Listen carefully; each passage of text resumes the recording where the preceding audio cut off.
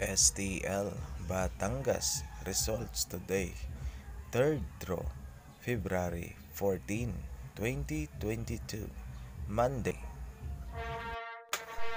Para laging updated, huwag kalimutang pindutin ang subscribe button, pati na din po ang notification bell. Maraming salamat! STL Batangas results today. Third draw, February 14, 2022. Mga kaloto, magandang gabi. Shout out po sa ating mga kaloto STL Batangas. Sana isa kayo sa mga maswerteng mananalo.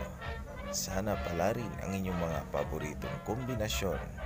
Upang makita ang mga opisyal na resulta, pakiclick na lang po ng description box. Maraming salamat to all winners. Congratulations at magandang gabi.